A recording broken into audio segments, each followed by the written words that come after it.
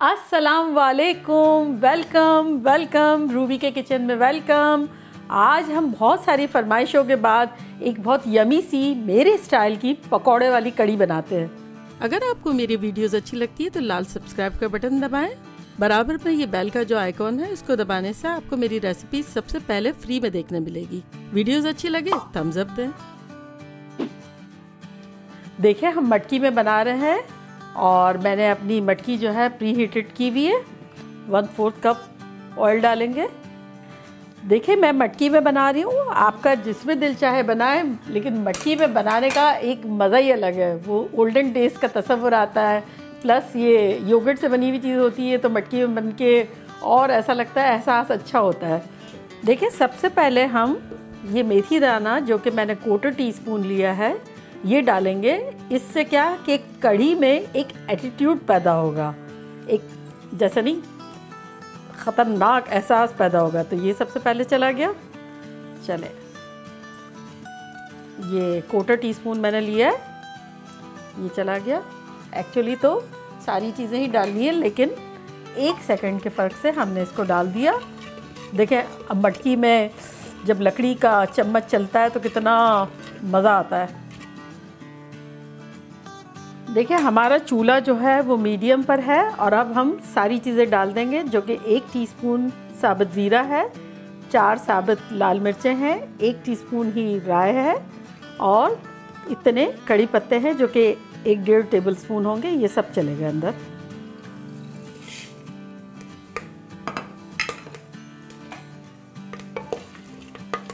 इतनी अच्छी खुशबू आ रही है कड़ी पत्तों की।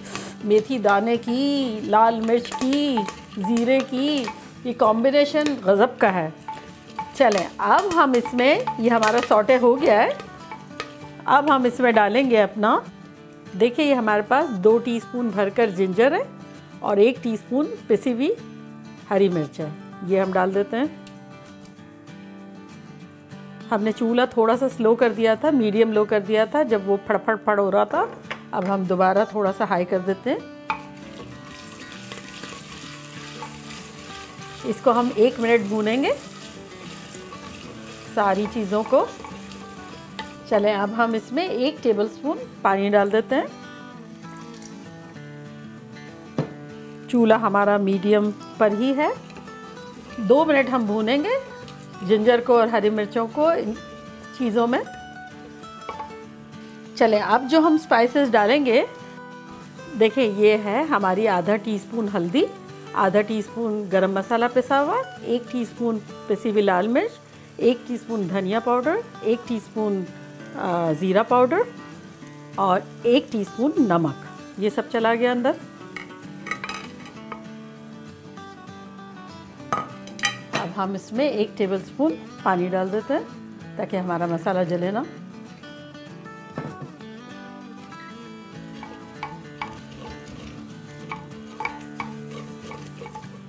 चलें। अब इसको हम एक दो मिनट भूनेंगे।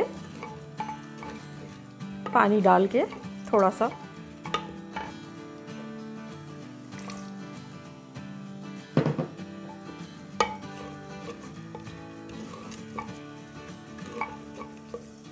देखिए इस पॉइंट पर जब हमने पानी के छींटे दे दे के इसको अच्छी तरह दो तीन मिनट भून लिया है तो जब ये इतना ड्राई हो रहा है तो इस पॉइंट पर हम अपना आधा कप टोमेटो क्रश किया हुआ डाल रहे हैं। आप बड़ा सा एक टमाटर लेके क्रश कर लें, रेडीमेड डाल दें, जो आपका दिल चाहे, ये चला गया।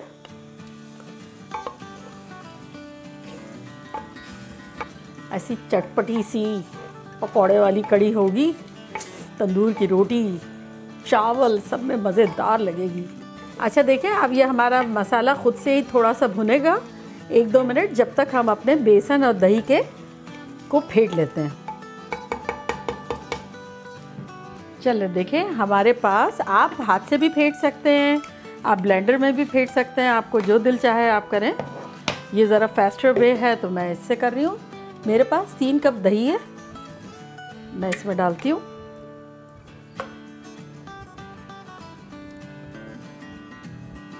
और ये आधा कप मेरे पास बेसन है, चने का आटा।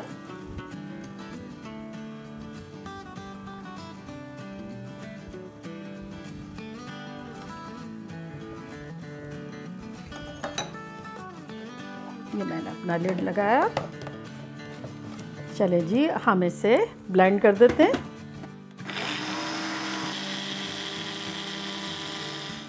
देखें जी, ये हो गया है और हमारा मसाला भी भुन गया है। अब हम इसमें डायरेक्ट ये अपना डाल देंगे। देखें, हमने पानी इसीलिए नहीं डाला था कि जब हम ब्लेंडर में दही को फेंटते हैं तो वो ऑलरेडी डाइल्यूट हो जाता है। तो अब ये हम डायरेक्ट अपनी पतीली में डाल रहे हैं। तो मेरे हिसाब से ये कंसिस्टेंसी जो है, वो अच्छी है। तो अब पकाने के लिए हम पानी डालेंगे। तो मैं एक कप डाल दूँगी पानी।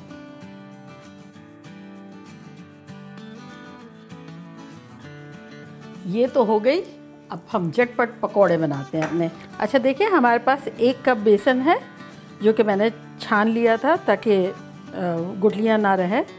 अच्छा इसमें हम डालेंगे ये देखें, एक टीस्पून हमारे पास हल्दी है, एक टीस्पून नमक है, एक टेबलस्पून सूखी मेथी है क्वार्टर टीस्पून बेकिंग सोडा है और एक टीस्पून भर के क्रश पेपर है और एक टीस्पून साबुत ज़ीरा है।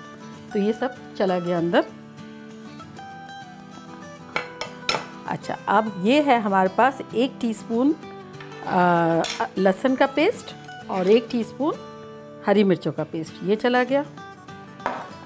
अच्छा थोड़ी सी रफली चॉप हमने की थी अनियन जैसे कोटर कप के आसपास वो डाल दें। ये मेरी आधी हरी मिर्च है रफली मैंने चॉप कर ली, ये डाल दिया। आपकी मर्ज़ी, आपको कम डालना हो, ज़्यादा डालना हो। ये दो टेबल स्पून के आसपास रफली चॉप हमने धनिया किया था, ये डाल दिया। तो ये सब चला गया हमारे पकौड़े बनने के लिए। अब हम इसको पहले तो मिक्स कर लेते हैं। अच्छा देखें, अच्छी तरह ये हमने मिक्स कर लिया। अब हम थोड़ा थोड़ा पानी डाल रहे हैं। ये देखें, हमारा क्वार्टर कप का मेज़रमेंट है। हम चाह रहे हैं आपको एग्जैक्टली पता चले कि कितना गया है। पहले हम क्वार्टर कप डालते हैं और फिर हिलाते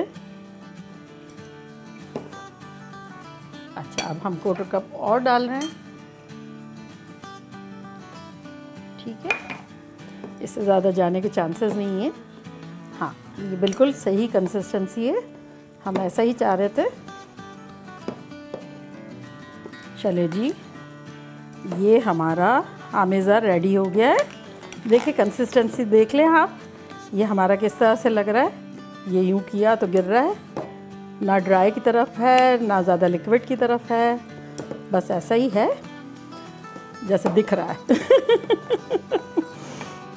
चले, हम सबसे पहले अपनी कड़ी को ज़रा हिला लेते हैं, उसमें उबाल भी आ गया है। बड़ी ज़बरदस्त किस्म की पक रही है और कह रही है where is my pakora? Where is my buddy मुझे अपना फ्रेंड चाहिए. तो अभी हम फ्रेंड को फ्राई करके अंदर डाले वाले हैं चलिए चक्कर देखते हैं। हम्म, बड़ी यमी सी है। चले हम तेल देख लेते हैं अपना।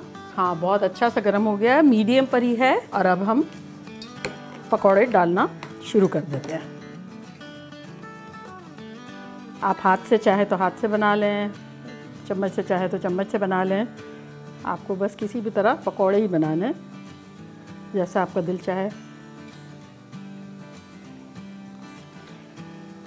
पकौड़े वाली कड़ी जनरली सबको बहुत पसंद आती है। एक देखा जाए तो जैसे दाल गोश है ना, इस तरह से ये काफ़ी हर दिल अज़ीज़ डिश है। हमारे यहाँ भी सब बहुत पसंद करते हैं। ख़ास तौर से हमारी एक प्यारी बेटी सना, उसकी तो फेवरेट है। देखें कैसे सुनहरे सुनहरे हो गए हमारे पकोड़े। बस अब इस पॉइंट पर हम डायरेक्ट इसको कढ़ी में डाल देंगे और ये उठाते हैं हम, ये देखो। हमारे खूबसूरत खूबसूरत पकोड़े। इसको उठाएँगे और डायरेक्ट हम इसमें डाल देंगे।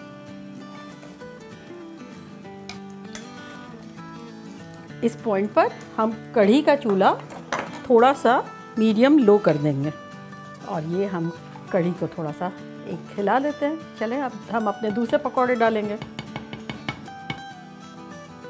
देखिए, हमारे थोड़े से जो रह गए हैं, वो हम पकौड़े बना लेते हैं। ये देखिए, हमारा लास्ट बैच भी हो गया। कैसे सुनहरे सुनहरे पकौड़े बनाने? हल्दी डालिएगा ताकि ये सुनहरे बने। बिल्कुल डार्क ज़्यादा नहीं होने चाहिए। अच्छा देखें, ये हमारी कंसिस्टेंसी जो है, देखिए, अच्छी सी गाढ़ी गाढ़ी सी, ज़बरदस्त सी कड़ी है। अच्छा इस पॉइंट पर अब आपके घर पे जिस तरह से पसंद किया जाता है, इस पॉइंट पर आप दो एक टेबल स्पून पानी भी डाल सकती हैं, आप ऐसे भी रहने दे सकती हैं, आपकी मर्ज़ी, लेकिन मैं जैसे चूँकि ठंडी होने के बाद कड़ी जो है वो गाढ़ी हो जाती है तो मैं ये जो है, इसको भर के एक डाल देती हूँ, ताकि मेरी कड़ी की कंसिस्टेंसी मुझे, ये देखें, ये जो अब है ना ये ये अच्छी लग रही है मुझे। चलें अब ये एक आध मिनट जो आ, हम दम पे लगा रहे हैं इसको उस दौरान हम कढ़ी के लिए तड़का बना लेते हैं। हम सेम पैन में जिसमें हमने आ, क्या कहते हैं पकोड़े तले थे हम अपने ये आ, जारे पे या ये जो भी हम जिससे तल रहे थे उस पर अपनी कुछ जितनी भी आपको पसंद हो हरी मिर्चें थोड़ी सी रख लेते हैं थोड़ी सी प्याज रख लेते हैं स्लाइस की भी थोड़ी सी बिल्कुल बघार के लिए और हम इसको इस तरह से रेडी कर लेते हैं। चले, अब हम इसको अपने कढ़ी पर डाल देते हैं।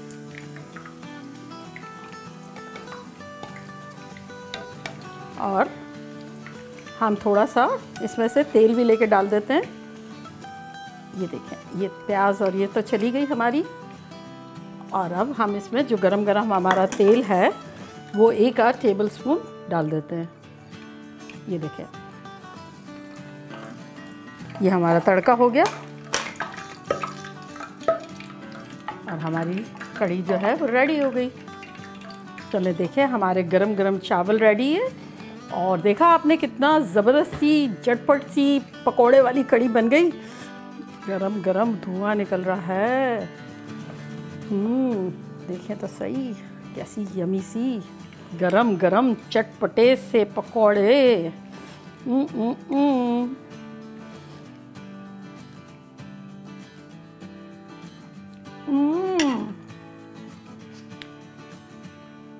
ज़बरदस्त।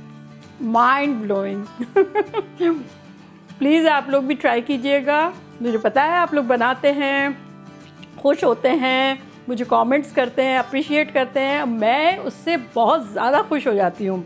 आप लोगों की लाइफ खूबसूरत हो कंफर्टेबल हो और मज़ेदार हो, यही ख्वाहिश है।